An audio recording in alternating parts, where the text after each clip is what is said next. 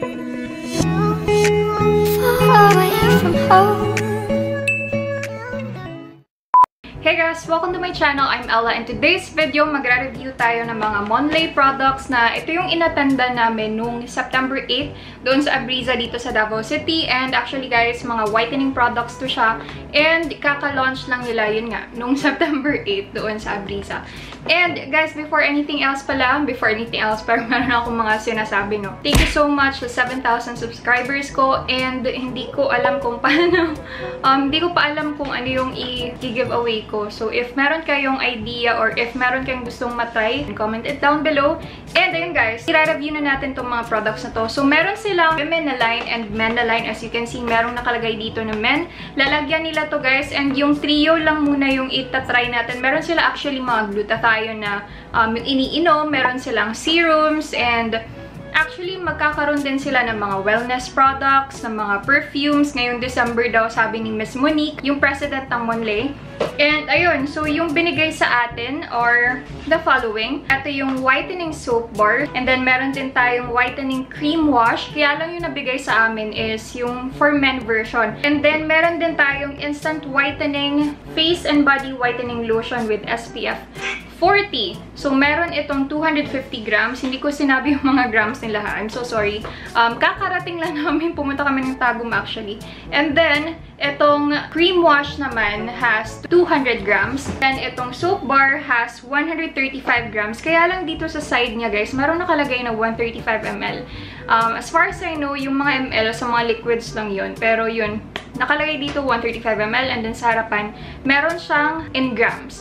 So, yung packaging niya actually is super nice. Dito sa soap, And yung lalagyan din ng lotion is super nice lang din. Super simple. Yung company name nila is social ng pakinggan. So, ginamit ko siya for 2 weeks. Actually, more than 2 weeks na siya eh. Kasi akala ko kulang pa yung mga videos ko. Pag-edit ko kahapon, nasobrahan na pala siya. Lahat ng mga products nila guys are organic, natural yung mga ginagamit nila. So, sabi din ni Miss Monique, pwede daw siya sa mga pregnant women and yung lactating women. And made in Davao din to siya guys. So, local local talaga lahat ng mga packaging and all. Kasi yun yung gusto nilang ma-achieve din. Although, isa sa mga goals nila is parang social siyang pakinggan. Gusto kasi nila itong i-spread nationwide and eventually sa mga Singapore, sa mga ASEAN countries daw, sabi ni Sir Gachi. And I'm not sure if meron na to sa lugar nyo guys, pero I'm pretty sure magre-release sila nationwide. So, unahin muna natin itong whitening soap bar guys. Kung tinetest nila ito sa amin, sabi nila mas maganda daw if i-cover talaga yung buong katawan mo ng soap for around mga 2 to 3 minutes. Pero, if nag-work ka outside, parang hindi yun siya ideal, ba diba? Kasi lagi kang nagmamadali and all. And yun yung ginawa ko, binibilang ko lang siya na mga 60 seconds. Yung sabon, guys, kinakat ko siya and good thing naman hindi siya mahirap i-cut kasi super soft niya lang. Hindi siya madaling matunaw. Tama ba yung term ko? So, that's a good thing. 300 pesos pala ito, guys. And yung isang parang half an inch na kinakat ko, naglalast siya for 3 to 4 days sa akin. Based lang yun sa na-experience ko, guys. Ha. Yung sabon naman kasi, kung i-compare ko din sa boyfriend ko, puro mga 1 day lang yung isang half an inch na kinat mo eh. Kasi grabe siya makasabon. And, ayun, depende na yun sa usage nyo. And once a day ko lang din siya ginagamit. Pwede mo siyang gamitin sa face. So, yung binibigay niya, guys, is nag-peel off siya actually, guys. Pero hindi siya noticeable. Micro lang talaga siya na wherein hindi makikita na parang parang nagda-dry yung um, skin mo, ganun. So, non-drying ito siya. Hindi din siya masyadong mabula. Women version, guys, ha. Yung sa lalaki, Nagamit ko din kasi siya guys kasi naubos na ito. Kasi nga yung half binigay ko sa boyfriend ko. So yun, nakabili ako ng men version kasi ina-expect ko na meron din siyang menthol and charcoal na mga um, ingredients. Actually, meron siya guys. Ginagawa niya is nagpipeel ng super super micro lang talaga na hindi ko nga siya na-notice eh until nag-edit ako ng video. And actually, mga ika-11th day ata yung nakita ko na meron. Ah, kasi yun lang yung zoom in ko talaga na video at that time. So, 11th day, meron na siya, napipil na siya ng konti. Sabi ni Miss Monique, na 3 days daw, meron ka naman na-notice. Pero hindi ko naman masyadong napansin kasi parang nawala na din sa isip ko kasi yung iniisip ko lang talaga is tapusin yung 2 weeks para makita ko if nag -e effect talaga siya sa'yo. Yung tinest out namin siya yung one day lang talaga ng boyfriend ko. Ako, una siya, tapos ako. Tinest out namin yung, yung itong tatlo. And then, 2 minutes, nirest muna namin siya sa arm namin. Then, winash off. And then, nilagay namin yung cream wash.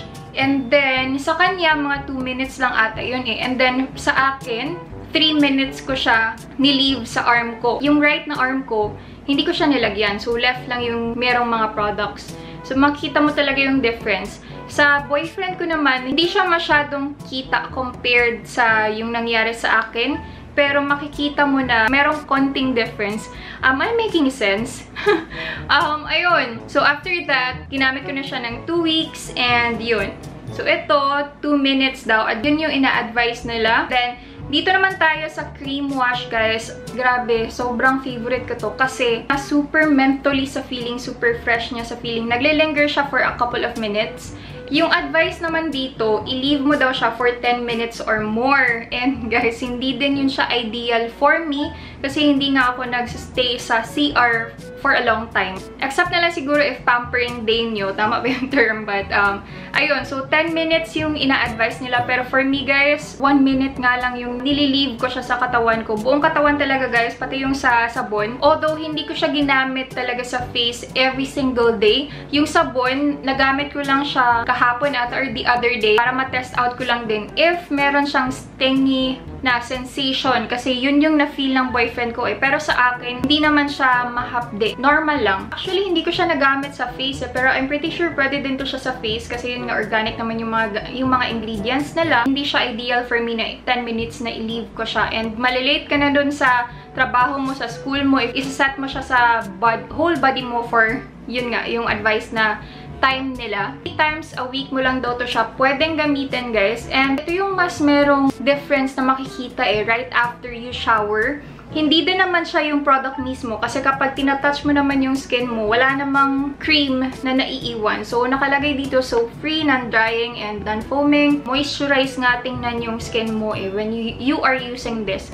Although, yung problem ko lang dito guys is yung price niya is 750 pesos. Ito na lang yung naiwan o, oh, tapos mga 2 weeks plus ko na siyang nagamit. So, 6 Actually, mga 4, 4 times ko nga nagamit siya yung, nung first week eh.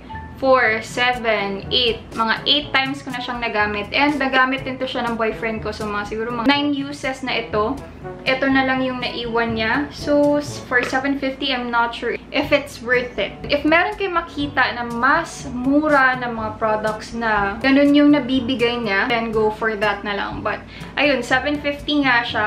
Yung ano ko lang din is hindi siya masyadong pakita ko, parang underwhelming lang siya. Social ng pangalan niya, pero pagkita mo dito sa packaging niya, parang 50-50 ako. Baka pwede naman sigurong transparent na lang ilalagyan niya, then color black pa rin, or hindi ko alam, para hindi siya nakakasosyal tingnan. Meron kasi akong friend din na nag-ask kung magkano daw, and namamahalan kasi siya. So, kahit na first na products pa lang yung nirelease nila, So, mas maganda siguro if yun, medyo social tingnan yung packaging talaga ng mismong products. Pero I feel like meron naman talaga siyang nabibigay na effect sa tawan mo. Sabi ko nga kanina din, hindi ko siya nagamit sa face. So, try nyo na lang if okay sa inyo. Pero yung sinabi din ni Miss Monique, parang meron siyang stingy na um, sensation eh. Pero hindi naman siya the point na parang mag-burn na yung mukha nyo or yung katawan nyo. So, sa, sa body naman, wala naman siyang stinging sensation. So, okay lang naman siya. And then, last but not the least is itong Instant Face and Body Whitening Lotion with SPF 40. Same with the cream wash. Yung packaging niya, hindi ko masyadong bet kasi, tingnan nyo, meron siyang mga ganito-ganito oh. Hindi ko alam kung OA lang ako ha. Pero ano kasi to, 600 pesos siya. Hindi ko sinisiraan yung company ha. Yun lang yung nakikita ko and yun yung naisip ko agad pagkita ko sa mismong products talaga. Although yung mga boxes nila okay naman, siguro mas okay din if transparent siya or mas um, iba yung color ng label dito. But ayun, meron siyang mga ganito, oh, tapos hindi siya pantay. Hindi ko alam din if maraming mga tao na ganun na super ano talaga sa mga packaging ng products na binibili nila. But, ayun, sa experience ko naman dito, guys, konti lang nilalagay ko kasi napapansin ko kapag madami siya, malagkit na siya sa feeling and nagli-leave siya ng white cast eh, if marami ha. So, konti lang nilalagay ko. Arms and legs ko, nilagay ko siya. Yung ayaw ko lang dito if napapawisan ka guys, lalo na sa legs, may lagkit feeling siya. Kahit na konti lang nilagay mo. If nasa air-conditioned room ka naman, then okay lang siya. Parang pangit pakinggan ng lagkit, no? Kasi kapag nilagay mo siya sa arms and sa legs mo, meron siyang konting super, super, super konting lagkit. Pero, hindi mo siya manodotice if hindi mo siya iisipin. If mapapawisan ka, dun mo na siya ma-feel talaga. So, yun lang yung problem ko dito. Nagamit ko lang din siya once lang din sa face. Kasi meron ako mga ginagamit sa mukha. Kaya hindi ko masyadong minimix talaga yung mga products na ginagamit ko. Baka anong mangyari, ba diba, sa skin ko. So, ayun. Um, okay lang din naman siya sa face. Hindi siya sticky. Pero, yun nga, pag napapawisan ka, same with your body, nafe-feel mo na talaga siya. First, meron siyang puti sa body mo sa areas na nilagyan mo ng products. Pero, after a while, nag-a-absorb, ina-absorb naman siya ng skin mo. So, nawawala din siya. Pero yung sa legs ko, sabi ng sister ko, parang grayish daw siya. Pero hindi ko naman siya napapansin. Hindi naman din siya yung product kasi kapag ginaganyan ko, wala namang natatanggal. I-insert ko na lang muna yung clips para makita niyo yung mga days na ginamit ko tsaka pictures ng before and after ko para makita niyo if meron talaga siyang difference na nabigay sa yung before, before namin gamitin yung mga products and ito yung mas darker actually. Mas dark yung mandiribi. Ana daw. Ang duwa. Murag mas dark siya diri.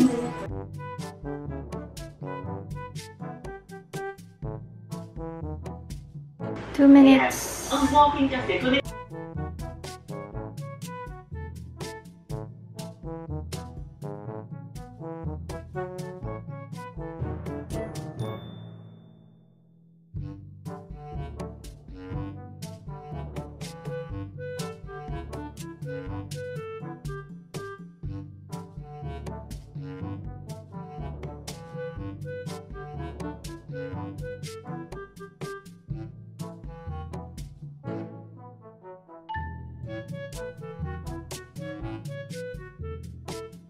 Yung color ko before.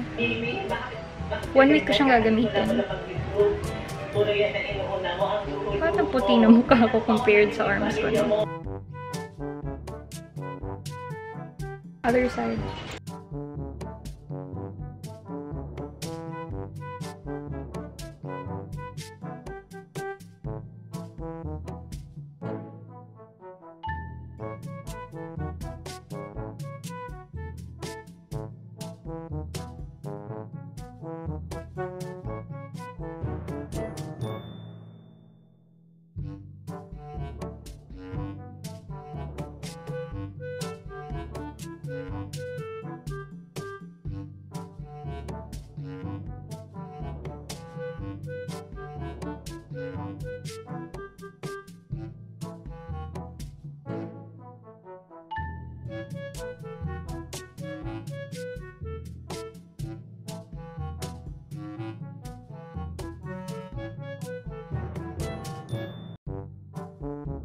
Ito yung meron. Ito yung wala.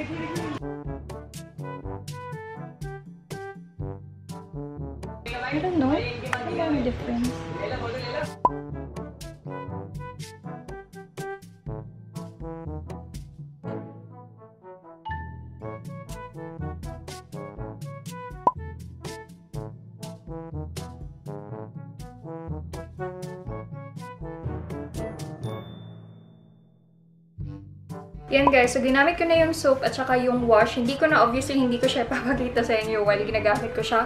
But after, right after na lang. So, ayun. Ito yung last natin gagamitin. This is the Instant Face and Body White Lotion na meron siyang SPF 40. But I will be using this ngayon kahit na gabi na. So, ganito. Konti lang ilalagay ko.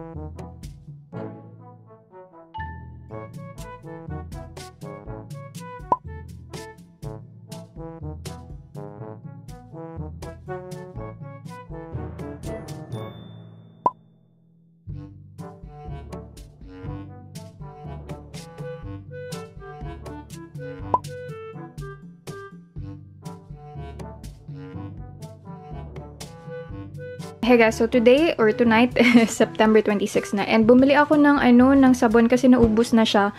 Pero yung half kasi binigay ko kay Ardel, yung, yung boyfriend ko. So yung half na naiwan, actually mas marami yung sa kanya compared sa akin eh. Pero um, ayun nga, yung dalawang natitira ko ka, uh, last time, ginamit din ni Ardel kasi dito siya last time. So bumili ako nitong Monlay Men Whitening Soap Bar kasi I believe ito yung merong charcoal and yung menthol. And gusto ko yung feeling na yun so far, yung sa paggamit ko doon sa wash. I hope ganun din yung feeling niya with this. So, I'm really, really excited. This one pala is 300 pesos din.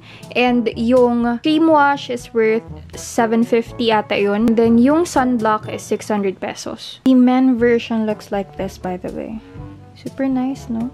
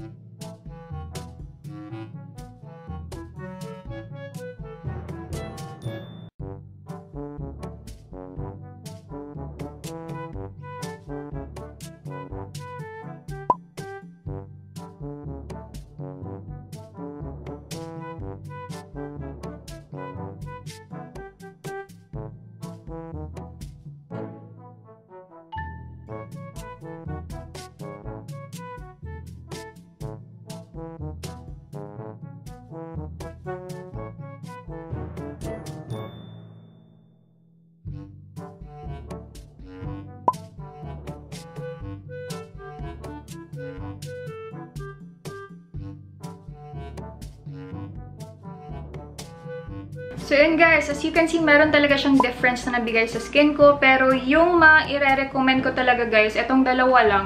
Itong soap niya, whitening soap bar, and itong whitening cream wash. Pero dahil sa 750 pesos siya, I'm not sure if it's that worth it. Definitely, ito talagang soap bar. Kasi nakikita ko na effective talaga siya. Although hindi naman super big talaga yung difference na nabibigay niya sa'yo. Slowly but surely, kumbaga. I think that's it. Thank you guys for watching. I hope you liked this video. Give it a thumbs up if you did. Subscribe if you haven't already. And please click the notification bell just beside the subscribe button. You'll be notified every time I post. I hope to see you on my next video. Bye!